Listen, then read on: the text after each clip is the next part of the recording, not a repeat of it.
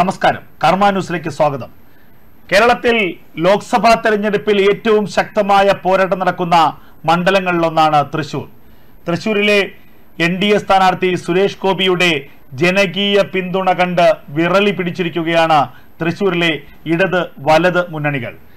നടൻ സുരേഷ് ഗോപി പോകുന്നിടത്തെല്ലാം വലിയ ജനപിന്തുണയാണ് ലഭിക്കുന്നത്. അവിടെ സുരേഷ് ഗോപി തന്നെ സ്ഥാനാർത്ഥിയാകുമെന്ന് ഏറെക്കുറെ ഉറപ്പായ ഘട്ടം മുതൽ സുരേഷ് ഗോപിക്കെതിരെ അനാവശ്യമായ വിവാദങ്ങൾ ഉണ്ടാക്കാനാണ് കേരളത്തിലെ ഇടതു വലതു മുന്നണികൾ നിരന്തരം ശ്രമിച്ചുകൊണ്ടിരുന്നത്. ഇപ്പോൾ ഇതാ ഏറ്റവും ഒടുവിലായി പത്മശ്രീ വിവാദത്തിൽ സുരേഷ് ഗോപിയെ പെടുത്തി ഇടതു മുന്നണി. പ്രത്യേകിച്ച് കലാമണ്ഡലം ഗോപി ആശാന്റെ മകൻ രഘു. രഘു ഒരു സി പി എമ്മിന്റെ ബ്രാഞ്ച് സെക്രട്ടറിയാണ്. അയാൾ ഒരു കാരണവുമില്ലാതെ എഴുതിയ ഒരു ഫേസ്ബുക്ക് പോസ്റ്റാണ് വലിയ വിവാദങ്ങളിലേക്ക് വഴിതെളിച്ചത്. എന്നാൽ ഏറ്റവും മാന്യമായ ഒരു പ്രവർത്തനം കാഴ്ചവെച്ചത് കലാമണ്ഡലം ഗോപിയാശാനാണ്. അതായത് പത്മശ്രീ പുരസ്കാരം വാങ്ങി നൽകാമെന്ന് നടൻ സുരേഷ് ഗോപി കലാമണ്ഡലം ഗോപിയോട് പറഞ്ഞുവെന്നായിരുന്നു ഈ പോസ്റ്റിന്റെ ആധാരം. അതുമാത്രവുമല്ല വീട്ടിലെത്തി കലാമണ്ഡലം ഗോപിയെ കാണാൻ സുരേഷ് ഗോപിക്ക് ആഗ്രഹമുണ്ടെന്നും അങ്ങനെ എത്തുമ്പോൾ സ്വീകരിക്കണമെന്നും ഇടനിലക്കാരൻ മുഖേന സുരേഷ് ഗോപി ആവശ്യപ്പെട്ടെന്നായിരുന്നു കലാമണ്ഡലം ഗോപിയാശന്റെ മകന്റെ വെളിപ്പെടുത്തൽ.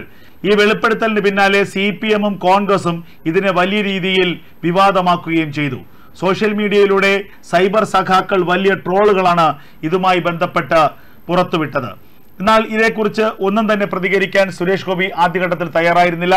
എന്നാൽ പിന്നാലെ ഈ വിഷയത്തിൽ കലാമണ്ഡലം ഗോപിയാശാൻ തന്നെ വെളിപ്പെടുത്തലുമായി രംഗത്ത് വന്നു.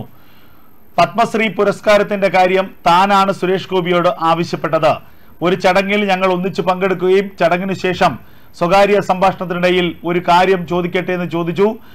എങ്ങനെയെങ്കിലും ഒരു പത്മശ്രീ പുരസ്കാരം തരമാക്കി തരണമെന്ന് സുരേഷ് ഗോപിയോട് താൻ ആവശ്യപ്പെട്ടു.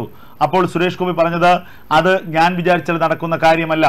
ഞാൻ വിചാരിച്ചിട്ടും കാര്യമില്ല. അതിനൊക്കെ മറ്റ് രീതികളുണ്ട്. അതുകൊണ്ട് അങ്ങ് മറ്റാരെയെങ്കിലും ബന്ധപ്പെടൂ എന്നാണ് അദ്ദേഹം പറഞ്ഞത്. അല്ലാതെ അദ്ദേഹ അദ്ദേഹം എന്നോട് പത്മശ്രീ പുരസ്കാരത്തിന്റെ കാര്യം ഇങ്ങോട്ട് ആവശ്യപ്പെട്ടതല്ല. അനാവശ്യ വിവാദങ്ങളാണ് ഇപ്പോൾ ഉണ്ടാക്കുന്നത്. ഏത് സമയവും സുരേഷ് ഗോപിക്ക് തന്നെ വന്ന് കാണാം. അനുവാദമില്ലാതെ തന്നെ വന്ന് കാണാനുള്ള സ്വാതന്ത്ര്യം സുരേഷ് ഗോപിക്കുണ്ടെന്നും കലാമണ്ഡലം ഗോപിയാശാൻ പിന്നീട് വെളിപ്പെടുത്തി. ഇതോടുകൂടി ഇടത് വലത് സൈബർ സംഘങ്ങളുടെ മുനയാണ് ഒടിഞ്ഞത്. ഈ അതുവരെ ആരോപണ പ്രത്യാരോപണങ്ങളിൽ ഉറച്ചു നിന്നവർ പിന്നീട് പതിയെ അതുവരെ ആരോപണ പ്രത്യാരോപണങ്ങളിൽ നിന്നവർ പതിയെ പിൻവാങ്ങുന്നതാണ് കണ്ടത്. എന്തായാലും സുരേഷ് ഗോപിയുടെ ജനകീയ സ്വീകാര്യതയും സുരേഷ് ഗോപിയുടെ മാന്യതയും വർദ്ധിക്കുന്ന ഒരു മറുപടി തന്നെയാണ് കലാമണ്ഡലം ഗോപി ആശൻ നൽകിയത്.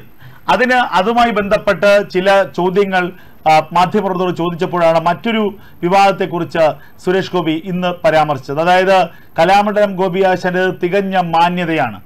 ആ മാന്യത കാണിക്കാനുള്ള ഒരു ഉത്തരവാദിത്തം കോൺഗ്രസ് സ്ഥാനാർത്ഥിയായ രാജ്മോഹൻ ഉണ്ണിത്താൻ കൂടി കാണിക്കണം. രാജ്മോഹൻ ഉണ്ണിത്താൻ എന്താണ് പറഞ്ഞതെന്നുള്ളത് നേരത്തെ പ്രേക്ഷകർക്ക് അറിയാവുന്നതാണ് അതായത് സുരേഷ് ഗോപിയുടെ വിവാഹത്തിനായി ഗുരുവായൂർ ക്ഷേത്രത്തിലേക്ക് തന്നെ ക്ഷണിച്ചിരുന്നു. എന്നാൽ നരേന്ദ്രമോദി ആ ചടങ്ങിൽ പങ്കെടുക്കുന്നത് കൊണ്ട് തന്നെ താൻ ആ ചടങ്ങിൽ നിന്ന് വിട്ടുനിൽക്കുകയായിരുന്നു. അതായത് എൻ കെ പ്രേമചന്ദ്രൻ എം ഡൽഹിയിൽ പ്രധാനമന്ത്രി വിളിച്ച ഒരു വിരുന്നിൽ പങ്കെടുത്തതിന്റെ പിന്നാലെയാണ് ഇത്തരം ഒരു വിവാദ പരാമർശം രാജ്മോഹൻ ഉണ്ണിത്താൻ നടത്തിയത്. ഇത് തികച്ചും തെറ്റാണെന്നും ഗുരുവായൂർ ക്ഷേത്രത്തിലേക്ക് രാജ്മോഹൻ ഉണ്ണിത്താനെ ക്ഷണിച്ചിട്ടില്ലെന്നും അതുകൊണ്ട് തന്നെ അവാസ്തവമായ കാര്യമാണ് രാജ്മോഹൻ ഉണ്ണിത്താൻ പറയുന്നതെന്നും തന്റെ പ്രസ്താവന തിരുത്താനുള്ള മാന്യത രാജ്മോഹൻ ഉണ്ണിത്താൻ കാണിക്കണമെന്നുമാണ് സുരേഷ് ഗോപി വ്യക്തമാക്കിയിട്ടുള്ളത്. ക്ഷേത്രത്തിലേക്ക് അത് ഇതിനെക്കുറിച്ച് കൃത്യമായ ഒരു വിശദീകരണം സുരേഷ് ഗോപി നൽകുന്നുണ്ട്.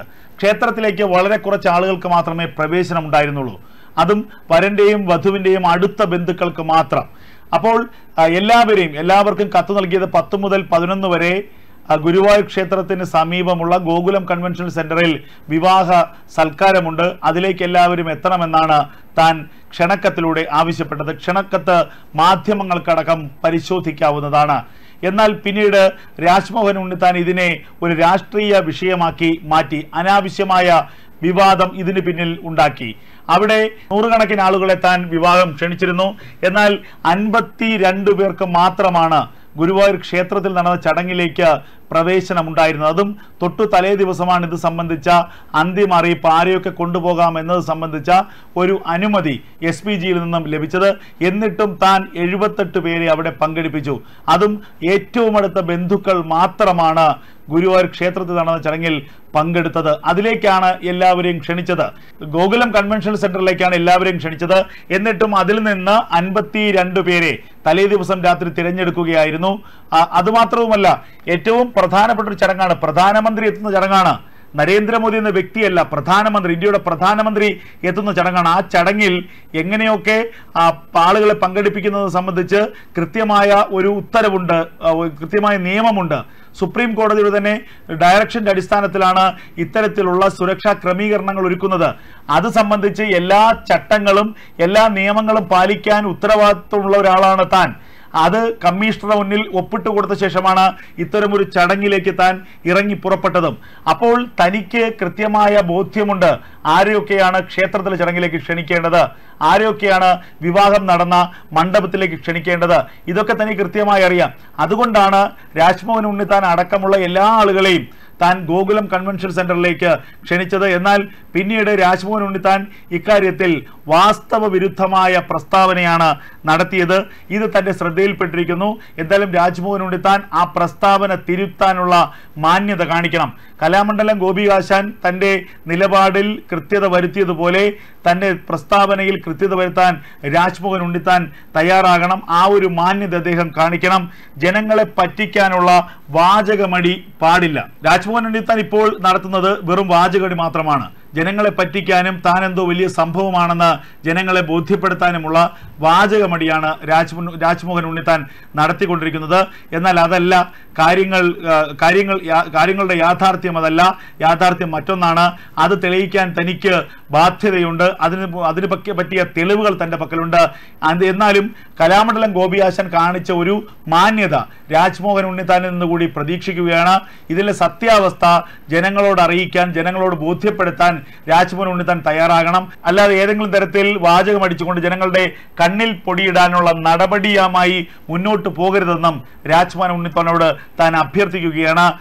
കലാമണ്ഡലം ഗോപിയാശാൻ കാണിച്ച മാന്യത അദ്ദേഹം തികച്ചും അടിമുടി മാന്യനായ ഒരു വ്യക്തിയാണ്. അതുകൊണ്ടാണ് അദ്ദേഹം ഒരു വിവാദമുണ്ടായപ്പോൾ തന്റെ നിലപാട് കൃത്യമായി പറഞ്ഞത്. എന്നാൽ അദ്ദേഹം പറഞ്ഞതിൽ അദ്ദേഹത്തിന് താൻ കൊടുത്ത മറുപടി അദ്ദേഹം പറഞ്ഞതുപോലെ അല്ല എന്ന് കൂടി സുരേഷ് ഗോപി കൂട്ടിച്ചേർക്കുകയാണ്. താൻ പറഞ്ഞത് ഇങ്ങനെയാണ്. മുൻപ് പത്മ പുരസ്കാരവുമായി ബന്ധപ്പെട്ട് നിരവധി വിവാദങ്ങൾ ഉണ്ടായിരുന്നു പത്മ പുരസ്കാരത്തിന് മുന്നിൽ സാമ്പത്തികം അഴിമതി തുടങ്ങിയ കാര്യങ്ങളൊക്കെ ഉണ്ടായിരുന്നു എന്നതുകൊണ്ട് പത്മ പുരസ്കാരത്തിന് കഴിഞ്ഞ പത്തു വർഷക്കാലമായി ഒരു പ്രത്യേക മാനദണ്ഡം ഉണ്ടാക്കിയിട്ടുണ്ട്. അതിന് പതിനൊന്നംഗ കമ്മിറ്റിയുണ്ട്. ആ കമ്മിറ്റിയിൽ വിവിധ വിദഗ്ധരുണ്ട് വിവിധ മേഖലയിലെ. ആ കമ്മിറ്റിയാണ് സ്ക്രീൻ ചെയ്ത പത്മ പുരസ്കാര ജേതാക്കളുടെ പട്ടിക തയ്യാറാക്കുന്നത്. അതിന് അത് അവരിലേക്ക് അപേക്ഷിക്കുന്നതിന് തന്നെ ചില മാർഗനിർദ്ദേശങ്ങളുണ്ട്. അത് പരിശോധിച്ചുകൊണ്ട് അതിലൂടെ മാത്രമേ കാര്യങ്ങൾ നടപ്പാകൂ. അല്ലാതെ ഞാനോ മറ്റൊരാളോ വിചാരിച്ചാൽ പത്മശ്രീ പുരസ്കാരം ലഭിക്കാനിടയില്ല എന്ന കാര്യം കലാമണ്ഡലം ഗോപി ആശാനെ ബോധ്യപ്പെടുത്തുകയാണ് താൻ ചെയ്തതെന്നും സുരേഷ് ഗോപി വ്യക്തമാക്കി. ഈ വിശദീകരണത്തിന് ശേഷമാണ് നടൻ രാജ്മോഹൻ ഉണ്ണിത്താനെതിരെ ആ, രൂക്ഷമായ വിമർശനം അദ്ദേഹം നടത്തിയത് തന്റെ മകളുടെ വിവാഹവുമായി ബന്ധപ്പെട്ട അനാവശ്യമായ ചില പരാമർശങ്ങൾ പ്രതികരണങ്ങൾ രാജ്മോഹനുണ്ട് തന്റെ ഭാഗത്തു നിന്നുണ്ടായി അത് നരേന്ദ്രമോദിയെ അവഹേളിച്ചുകൊണ്ടുള്ള ചില പരാമർശങ്ങളായതുകൊണ്ട് കൂടിയാണ് താൻ ഇക്കാര്യത്തിൽ തന്റെ നിലപാട് വ്യക്തമാക്കുന്നതെന്നും സുരേഷ് ഗോപി പറയുന്നു. അതായത് തന്റെ മകളുടെ വിവാഹ ചടങ്ങിലേക്ക് ഗുരുവായൂർ ക്ഷേത്രത്തിലേക്ക് രാജ്മോഹൻ ഉണ്ണിത്താനെ ക്ഷണിച്ചിരുന്നു എന്ന് രാജ്മോഹൻ ഉണ്ണിത്താൻ ഒരവസരത്തിൽ പറഞ്ഞു. എന്നാൽ നരേന്ദ്രമോദി പങ്കെടുത്തുകൊണ്ടാണ് താൻ ആ ചടങ്ങിൽ പങ്കെടുക്കാത്തതെന്നും രാജ്മോഹൻ ഉണ്ണിത്താൻ വ്യക്തമാക്കി. ഇതാണ് ഇപ്പോഴത്തെ പുതിയ വിവാദത്തിന് അടിസ്ഥാനമായിരിക്കുന്നത്. എന്നാൽ ഇത് അവാസ്തവമാണെന്ന് സുരേഷ് ഗോപി വ്യക്തമാക്കുകയും ചെയ്യുന്നു.